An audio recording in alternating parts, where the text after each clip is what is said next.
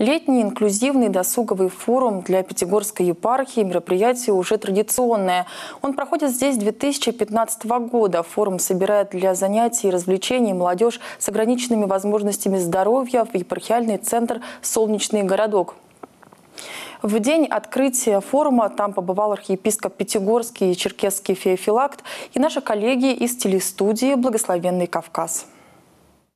Архиепископ Пятигорский и Черкесский Феофилакт приехал в Ессентуки, чтобы поздравить детей и молодежь с открытием летнего инклюзивного досугового форума на базе центра «Солнечный городок». Он находится на территории городской больницы, и главный врач Василий Александрович здесь свой человек, следит за здоровьем подопечных.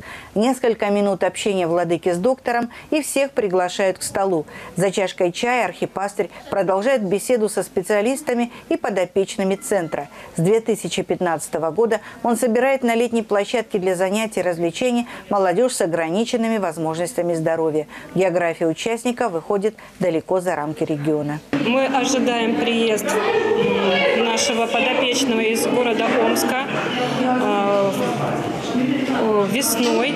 Он вместе с тетей приехали сюда на реабилитацию в один из санаториев. И через врачей они случайно узнали про наш центр. Далее у нас есть подопечный наш мальчик, который проживает в Европе, во Франции, если быть точно. Вот, но поскольку у них здесь родственники в Пятигорске, они тоже три года назад узнали про наш центр, стали постепенно посещать, будучи здесь у родственников в Пятигорске. Вот. И как-то вот завязалась такая большая дружба. В этом году в Ессентуках собрался 21 участник летнего форума. Это больше, чем в каждый из предыдущих годов. Возраст 14+, самым старшим 40 лет. Молодые люди с ограниченными возможностями здоровья развивают необходимые навыки. С ними работают волонтеры. Отрадно, что есть неравнодушные студенты, которые видят недостаток внимания к инвалидам со стороны государства и стараются помочь. Я начал заниматься работой с глухими людьми. И по возможности, э, когда когда требуется помощь, прихожу сюда, в солнечный городок.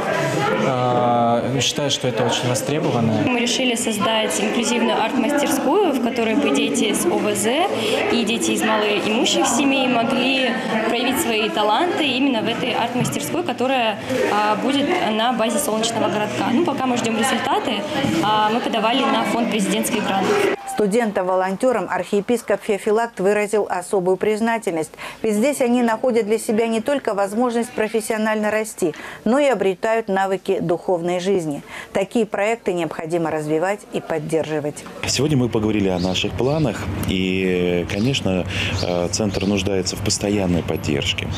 На самом ближайшем епархиальном совете мы будем рассматривать возможность увеличения, э, в том числе финансовой поддержки для деятельности Центра, центра. И, конечно же, э, надеюсь на то, что мы сами будем создавать такие площадки, грантовые площадки, которые могли бы привлечь желающих э, людей оказать э, практическую поддержку нашему солнечному городку. После общения архиепископ Феофилакт раздал участникам форума подарки и сфотографировался с ними на память. Елена Христосова, Артем Соломенцев, студия «Благословенный Кавказ».